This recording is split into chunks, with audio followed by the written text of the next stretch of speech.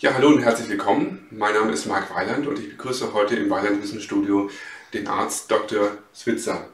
Schön, dass Sie da sind. Ja, freut mich sehr.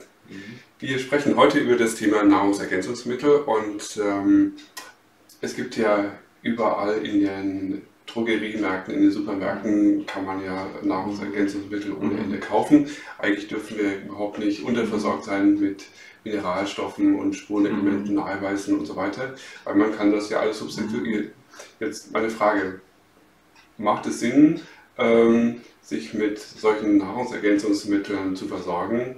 Ähm, ist das... Äh, Ja, ähm, durchaus. Ähm, selbst, selbst wenn man eine sehr gute Ernährung äh, zu sich nimmt, alles biologisch ähm, angebaut und ähm, aus dem Biomarkt, ähm, es ist so, durch die äh, industrielle Ernährungsweise, und das, das nimmt auch nicht halt vor der ähm, Biobranche, ähm, können durchaus ähm, was wir sehen, Mineralmängel in Gemüse, Obst, Getreide.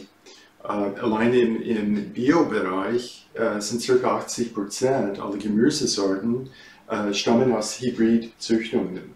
Und diese Hybridzüchtungen ähm, zeigen ähm, Mineralmängel auf, also viel weniger Mineralien und Vitamine als vor 50 Jahren. Also das ist, das ist ein Fakt, Mhm. Faktum. Ist auch bei Getreide, also auch Getreidesorten werden hybrid gezüchtet, gezüchtet selbst ähm, Dinkel, was angeblich so gesund ist, also ähm, Roggen, Weizen, selbst in Bioqualität, das sind alles Hybridzüchtungen. Das heißt, diese schnell wachsenden Pflanzen äh, nehmen einfach wenige Mineralien auf und weisen einfach äh, viel weniger Phytonährstoffe und auch Vitamine auf. Das heißt, ähm, äh, ja, wir, äh, wir, müssen äh, supplementieren, ähm, um, um unseren ähm, Bedarf zu decken, um, um wirklich ein Optimum zu erreichen,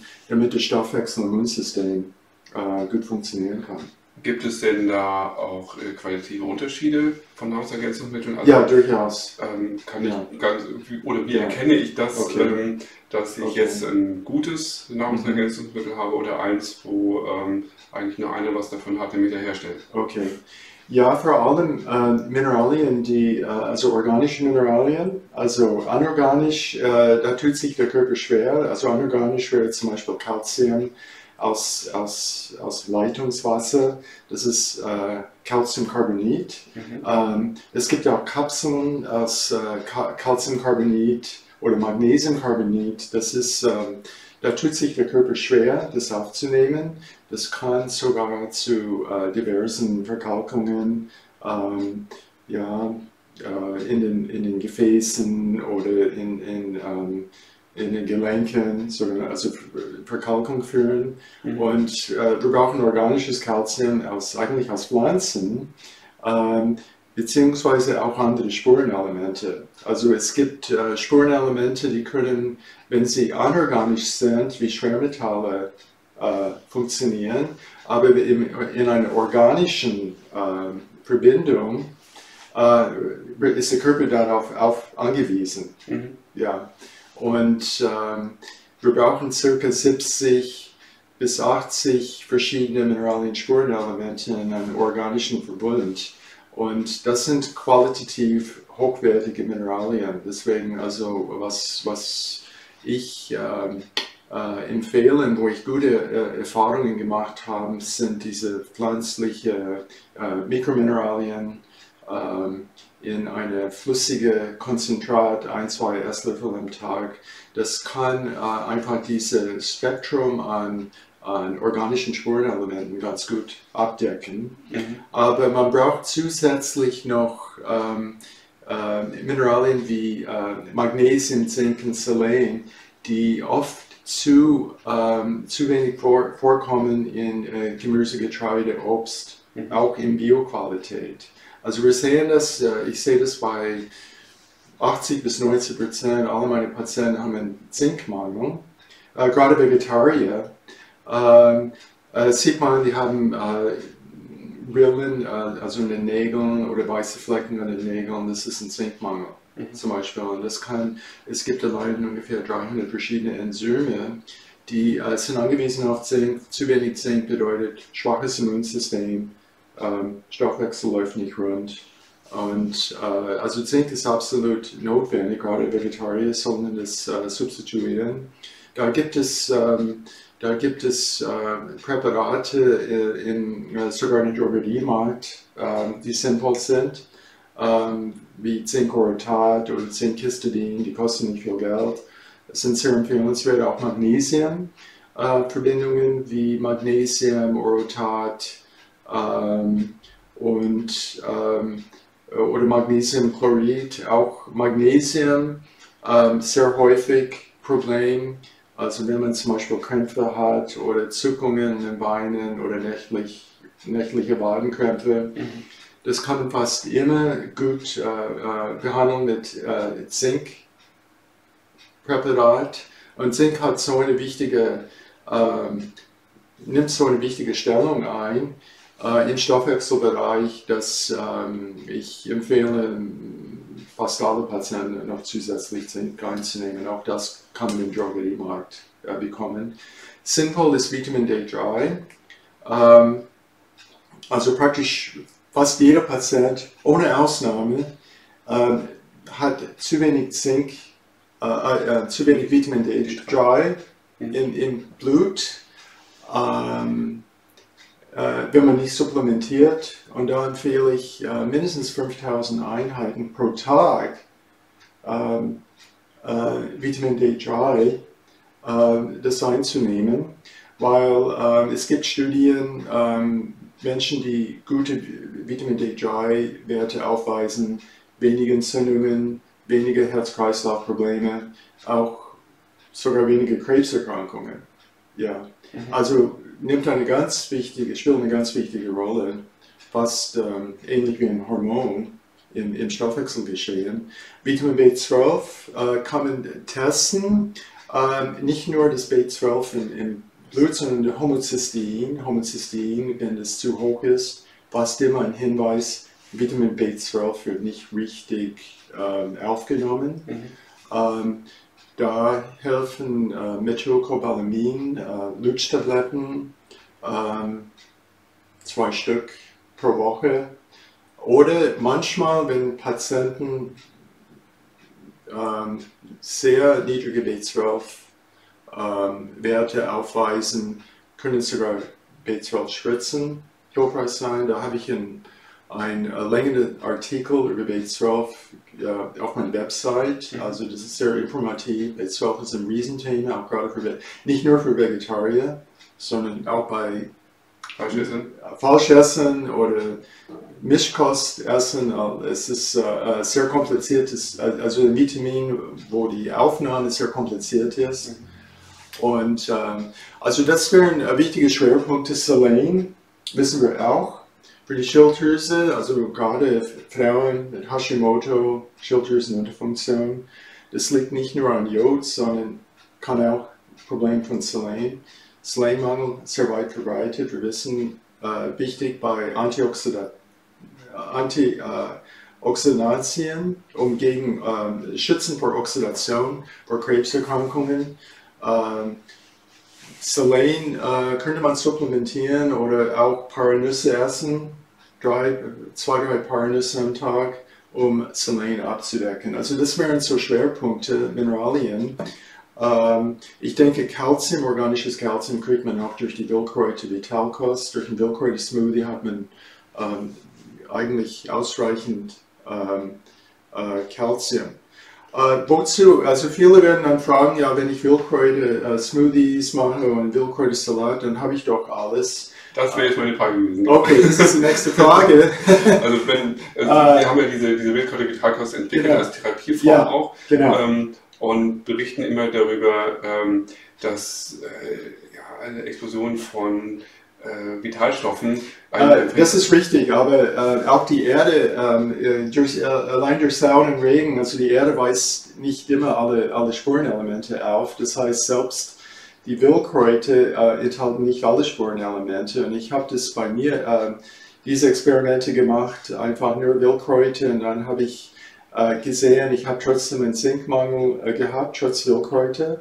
Oder ähm, wenn ich zum Beispiel auch Magnesium, es ist, äh, war ein Thema bei mir, also oft die, die Wildkräuter haben nicht, nicht alles äh, abgedeckt bei mir. Mhm. Also da war auch Optimierungsbedarf, obwohl ich, äh, ähm, selbst wenn ich im Wildkräuter-Smoothie und Wildkräuter-Salat, ähm, das ähm, äh, ja auch B12 ähm, da hatte ich einen äh, Mangel, da hatte ich hohe Homozysteinwerte trotz Wildkräuter, also ich musste auch mit B12 supplementieren, diese, diese Lutschtablette, ähm, zweimal pro Woche.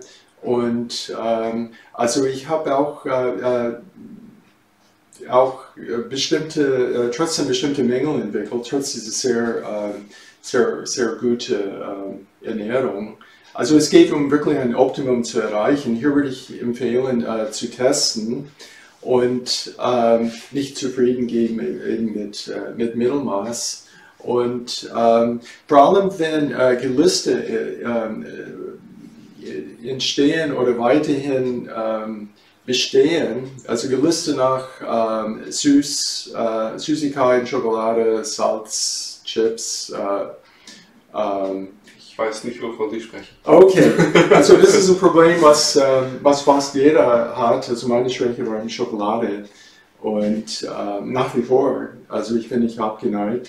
Aber ich, äh, ich habe immer gemerkt, wenn ich äh, diese Mikromineralien Ursens, das ist ein pflanzliches Konzentrat an organische pflanzliche Mineralien, Spurenelementen, gewonnen aus einem prähistorischen Regenwald, was zugeschüttet wurde, vor vielen äh, Hunderttausenden von, von Jahren, dieses Pflanzensubstrat, äh, da, da, davon gewinnt man äh, organischen Spurenelementen äh, und es ist verblüffend, wie gut das ähm, äh, Gelüste äh, wieder ausgleichen kann. Also ähm, ich habe das immer wieder bei Patienten erlebt, zum Beispiel ähm, dass man ähm, einfach weniger Schokolade braucht, kann es bei mir auch bestätigen. Also ich bin durchaus in der Lage, eine Tafel Schokolade zu essen. Wenn ich diese Mikromineralien einnehme, dann äh, reicht mir ein kleines Stückchen.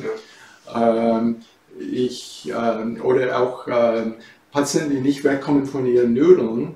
Also ich hatte mal einen Patienten jeden Tag Teller Nudeln gegessen und wirklich kam nicht davon weg, obwohl dieses äh, Gluten hat ihm Probleme gemacht im Magen-Darm Chart mit in, ähm, in Entzündungen, Gelenkentzündungen. Und ähm, dann mit nur einem Esslöffel von diesen Mikromineralien konnte das die Nudeln einfach weglassen, was nicht vorher nicht möglich war. Also es ist nicht nur eine Sache der, äh, von äh, Beherrschung oder von Disziplin, sondern es hat es etwas mit der Physiologie zu tun. Das heißt, wenn ein paar mineralische Bausteine fehlen, dann äh, wird etwas getriggert in der Physiologie und man ist wirklich ausgeliefert. Nicht? Also ähm, man kann nicht anders als eben diese Nudeln essen oder Pizza, Pasta, Pommes, Nudeln, Fast Food. Davon lebt die Fast Food Industrie. Und wir sind alle mehr oder weniger ausgeliefert. Und wir kennen es auch bei Tieren. Zum Beispiel, wenn ein Pferd äh, mineralisch unterversorgt ist, dann fängt dieses Pferd an, Holz zu fressen oder Erde zu fressen. Und das können alle Pferdehalter äh, bestätigen.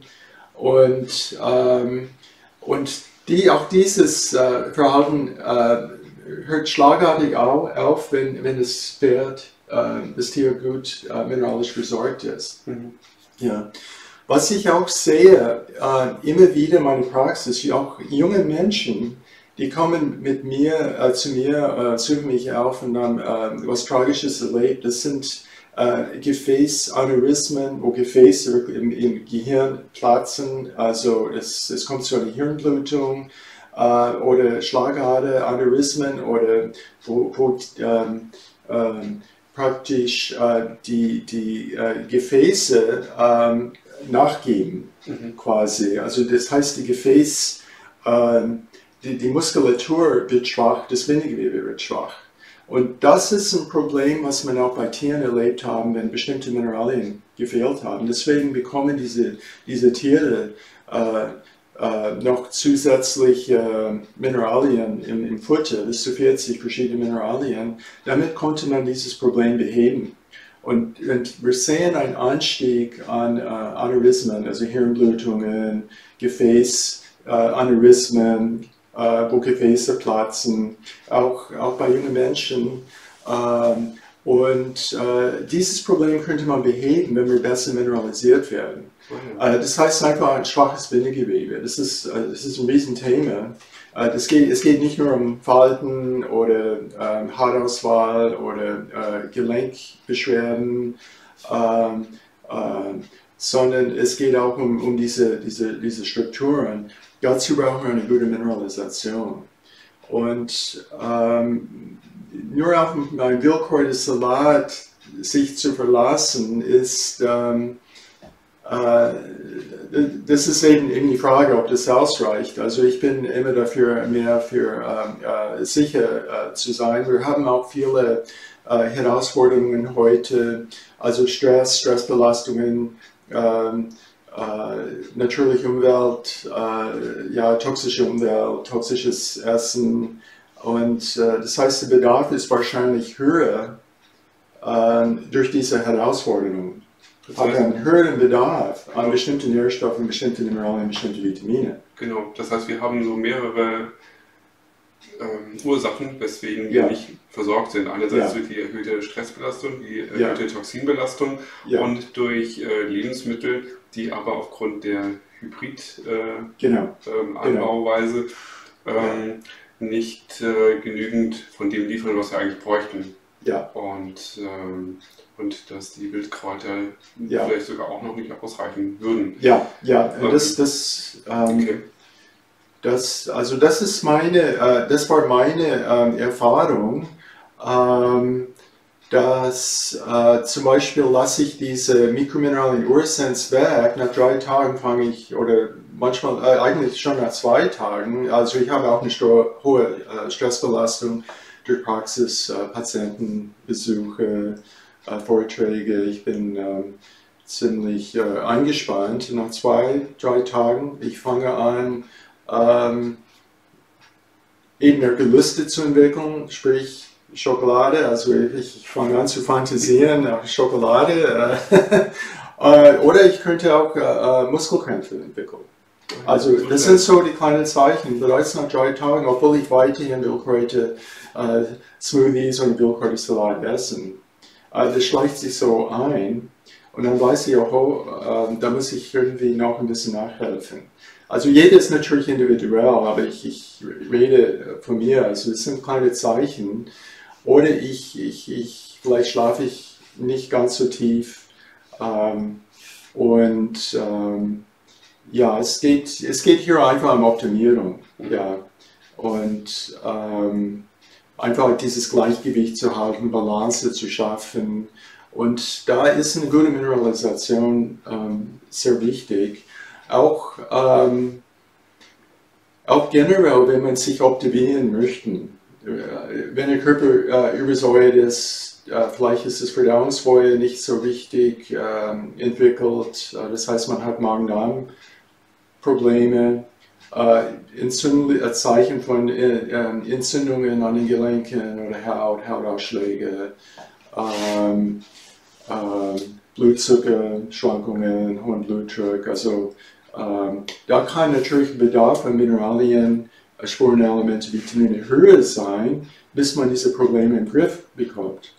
Und äh, wie lange braucht man, um diese Probleme im Griff zu kriegen? Das kann ein, zwei Jahre dauern, das kann zwei, drei Monate, das ist ganz individuell. Mhm.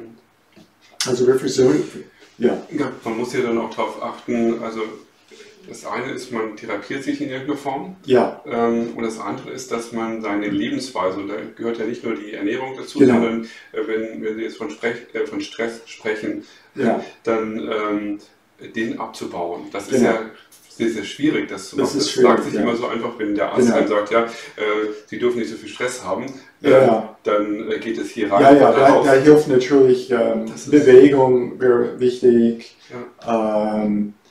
Ähm, Yoga, Meditation, äh, transzendentale Meditation ist mein Stressmanagement mache ich 20 Minuten täglich. Das wäre auch eine Möglichkeit, hier Stressreduktion. Aber auch, ähm, auch in äh, dieser Gersentherapie ist auch eine sehr effektive Möglichkeit, Stress abzubauen durch äh, verschiedene äh, Detox-Verfahren, die ich in diesem Buch ähm, zitiere. Mhm. Ähm, durch Entgiftung, Entschlackung gezielt, ähm, äh, zum Beispiel dieses Niacin-Detox-Verfahren, das äh, in dem Buch oder beziehungsweise in diesem äh, DVD äh, über die Gersentherapie ähm, äh, praktisch geschildert wird, ähm, kann man Stress äh, abbauen, Stresshormone. Das heißt, die damit die Stresshormone gar nicht entstehen können. Mhm. Also ist mein Körper gut mineralisiert, gut versorgt mit Vitamine, ist mein, ähm, auch mein Verdauungsfeuer ähm, äh, entsprechend ähm, stark, äh, äh, werden wenige ähm, Stresshormone produziert, auch in Stress, bei Stress, in Stresssituationen, mhm. bleibt man eher gelassen. Ja? Also ist man weniger gut versorgt mit Mineralien, Vitamine, ähm, Spurenelemente, äh, liegen die Nerven eher blank in Stresssituationen. Und werden mehr Stresshormone ausgeschüttet, entstehen Tendenz zu mehr ähm, Entzündungen. Und ähm, das, ist, das ist einfach so Art Teufelskreis. Ja. Sehr komplexes Thema. Es ist komplex, aber äh, mit ein paar kleinen ähm, äh, Optimierungen ist es wirklich erstaunlich, äh, wie, wie man das, äh, wie man diese, diese komplexe äh, Probleme äh, im Griff kriegen kann. Willkür Vitalkost oder eben ähm, äh, Optimierung, eine generelle Optimierung, Gersentherapie zum Beispiel, ähm, siehe Buch oder DVD ähm, um da Ideen zu bekommen, was man auch zu Hause machen kann. Und äh, natürlich Bewegung, ähm, Sport, Ausgleich. Ähm, und ähm, ja, die, die Erfahrungen waren da sehr gut. Also, ähm, und ähm, ja, ich, ich denke, da kriegt man einige, einige Ideen, wie man da vorgehen kann. Ja. Gut, wir haben ja heute das Thema Nahrungsergänzungsmittel und Sie haben ja schon angesprochen die Urmineralien. Ja. Und ähm, wir werden in den folgenden Videos diese Urmineralien einmal explizit vorstellen. Da gibt es verschiedene äh, Varianten davon und da freue ich mich schon drauf, darüber auch jetzt gleich dann mehr zu erfahren. Okay. Also, wir sehen uns im nächsten Video.